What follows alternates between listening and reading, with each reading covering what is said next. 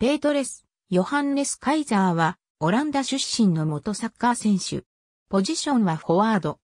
カイザーは1961年にアヤックスで選手経歴を開始して、以来、一貫してアヤックスでプレーを続け1974年に現役引退するまで364試合に出場し146得点を記録した。出場記録はクラブ史上第4位の記録である。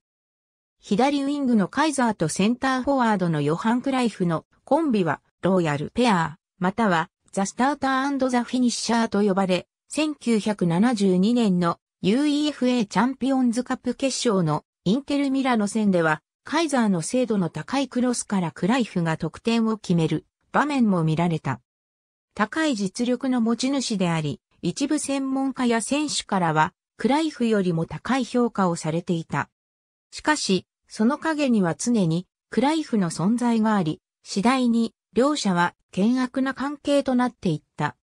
この争いは1974年にクライフと監督のリヌス・ミケルスがスペインの FC バルセロナへ移籍したことで終結した。オランダ代表としても1962年の代表デビューから1974年までに国際 A マッチ34試合出場11得点を記録した。